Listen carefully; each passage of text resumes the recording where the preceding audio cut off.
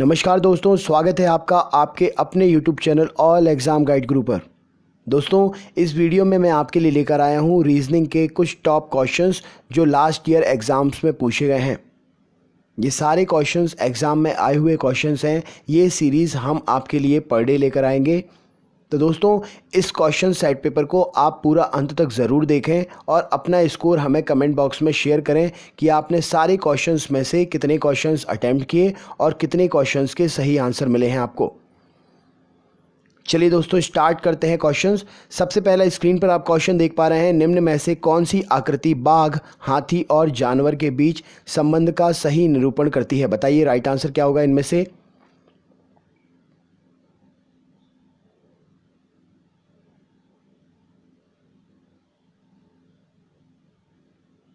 चलिए देखते हैं राइट आंसर क्या है। तो ऑप्शन नंबर सी इसका राइट आंसर हो जाएगा। कैसे हो जाएगा दोस्तों? क्वेश्चन में आपसे क्या पूछा गया है? बाघ, हाथी और जानवर। दोस्तों, हम सभी जानते हैं बाघ और हाथी दोनों ही जानवर की कैटेगरी में आते हैं।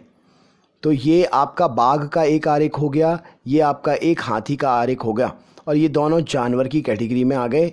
तो आपका ऑप्शन नंबर सी सही वेनारिक होगा इस क्वेश्चन के लिए। नेक्स्ट क्वेश्चन देखते हैं दोस्तों। नेक्स्ट क्वेश्चन क्या है? ये रहा स्क्रीन पर। क्वेश्चन नंबर सेकंड में देखिए, आपसे क्या पूछा गया है? विषाणु जिस प्रकार चेचक से संबंधित है, उसी प्रकार जीवाणु किससे संबंधित होगा? बताइए।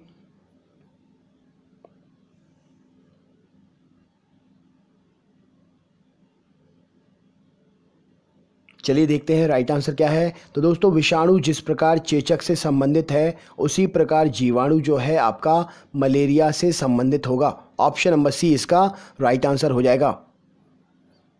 नेक्स्ट क्वेश्चन देखते हैं। क्वेश्चन नंबर थर्ड में क्या पूछा गया है आपसे? दोस्तों, बात हो रही है पासे की। दिए गए पासे में तीन के विपरीत क्या होगा, बताइए।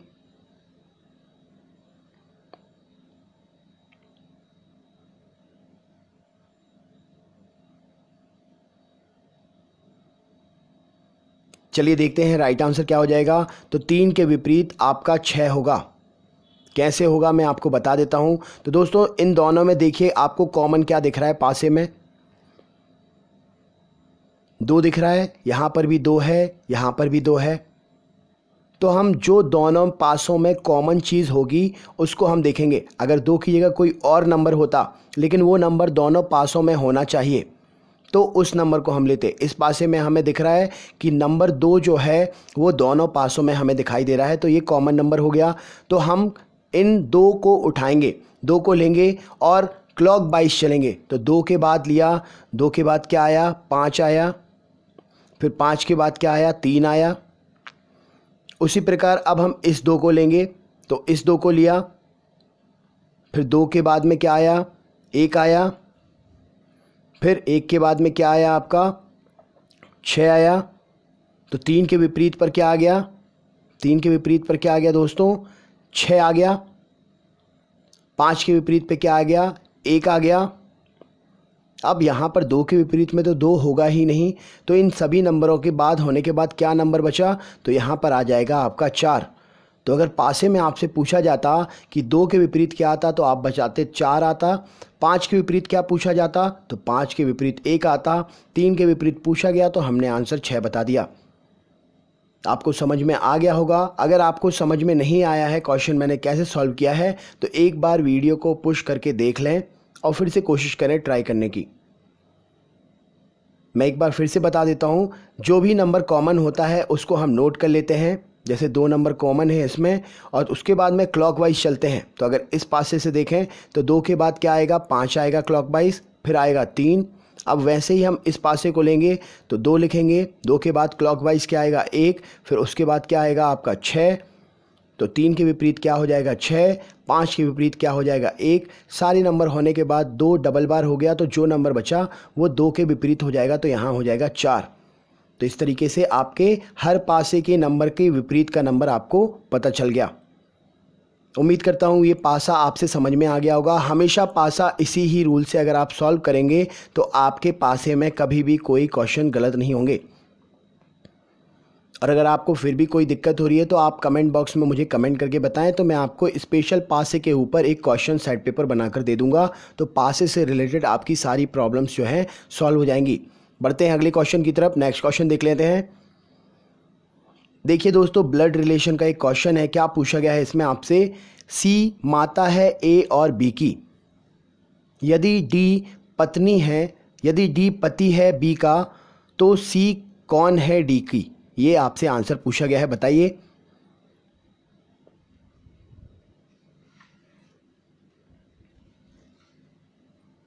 चलिए देखते हैं, इसका आंसर सॉल्व करते हैं।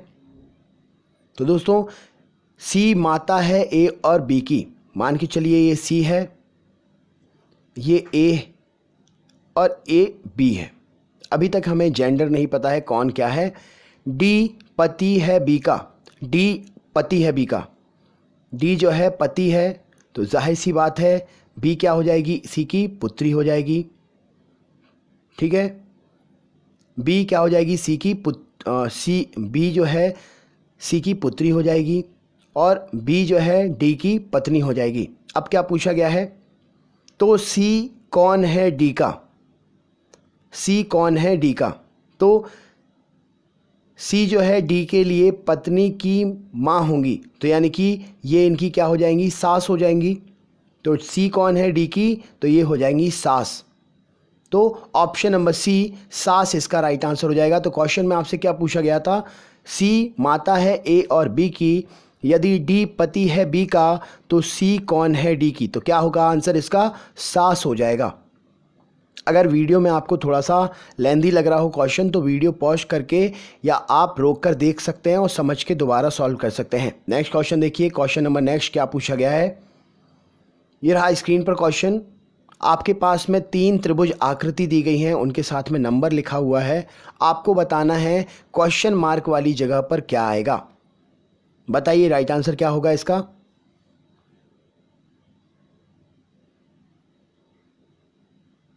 चलिए देखते हैं राइट आंसर क्या है। तो दोस्तों, जैसा कि आप देख पा रहे हैं five fours are plus five fours are twenty into twenty two are forty multiplication चल रहा है। सेम वैसे यहाँ पर भी है। Three three are nine nine five are forty five वैसे ही यहाँ पर चलेगा आपका। फोर वन ज़ा फोर और फोर सिक्स ज़ा क्या हो जाएगा? ट्वेंटी फोर तो यहाँ पर आंसर क्या हो जाएगा? ट्वेंटी फोर ठीक है दोस्तों, समझ में आ गया होगा, उम्मीद करता हूँ, अगर ना समझ में आए तो वीडियो को थोड़ा रोक रोक कर दोबारा से देख लें। नेक्स्ट क्वेश्चन देखते हैं। नेक्स्ट क्वेश्चन क्या है? ये रहा स्क्रीन पर। दोस्तों, आपसे पूछा गया है, इस सीरीज़ में कौन सा पद गलत है? बताइए राइट आंसर क्या होगा?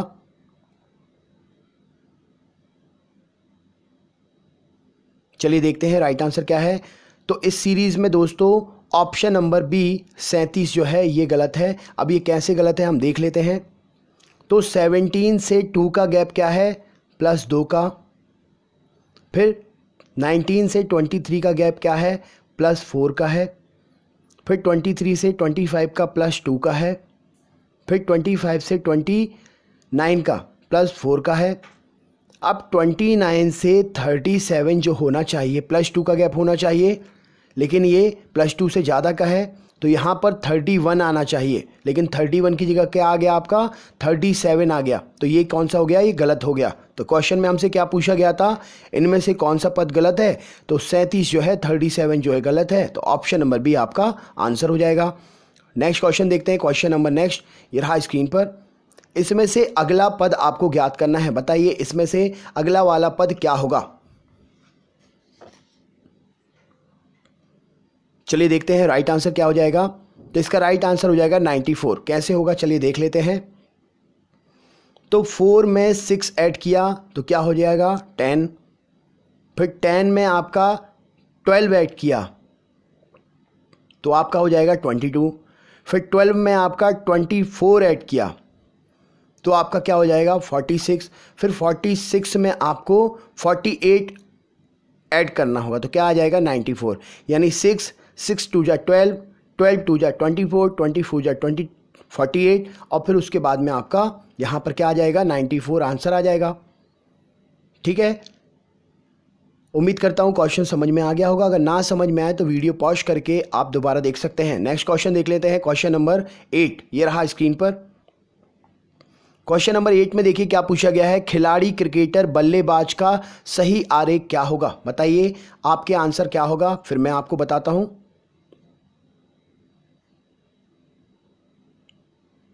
चलिए देखते हैं राइट आंसर क्या हो जाएगा। Option number C right answer हो जाएगा। कैसे होगा? तो मैं आपको बता देता हूँ। सी वाला वेन आरेख कैसे सही हो जाएगा? तो दोस्तों, बल्लेबाज जो है, वो क्रिकेटर होता है। बल्लेबाज जो है, वो आपका क्रिकेटर होता है। और सभी क्रिकेटर जो हैं, खिलाड़ी होते हैं। समझ पा रहे होंगे आप? जो बल्लेबाज है, वो आपका क्रिकेटर होगा। और जो क्रिकेटर होंगे सभी, वो खिलाड़ी होंगे। तो इस हिसाब से आपका option number C right answer हो जाएगा। वैन आर से संबंधित अगर आपको कोई भी समस्या हो तो आप कमेंट बॉक्स में कमेंट करके बताएँ। मैं वैन आर से संबंधित भी आपके लिए एक वीडियो बना दूँगा, जिससे आपके क्वेश्चन ज़्यादा से ज़्यादा सॉल्व हो जाएँगे। नेक्स्ट क्वेश्चन देखते हैं क्वेश्चन नंबर नाइन ये रहा स्क्रीन पर क्वेश्चन नंबर नाइन क्या पूछा गया आपसे? शहर ए शहर बी से पूर्व की ओर है, तथा शहर सी से उत्तर की ओर है। शहर सी शहर बी से किस दिशा में है? बताइए राइट आंसर क्या होगा इसका?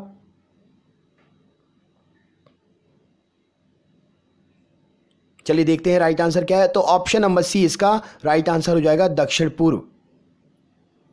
नेक्स्ट क्वेश्चन देखते हैं दोस्तों। नेक्स्ट क्वेश्चन क्या है? क्वेश्चन नंबर टेन ये रहा स्क्रीन पर।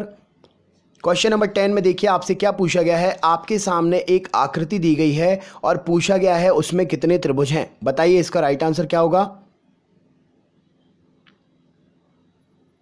चलिए देखते हैं राइट आंसर क्या है। तो ऑप्शन नंबर सी जो है, दस इसका राइट आंसर हो जाएगा। कैसे हो जाएगा आपका? तो एक त्रिभुज आपका ये हो जाएगा, दूसरा ये हो जाएगा, तीसरा ये हो जाएगा, चौथा ये हो जाएगा, पाँचवा ये, छठवा ये, सातवा ये, आठवा ये, नौवा ये बड़ा वाला और दसवा ये छोटा वाला। तो ऐसे ये दस त्रिभुज हो जाएँगे इस आकृति में। कितने त्रिभुज?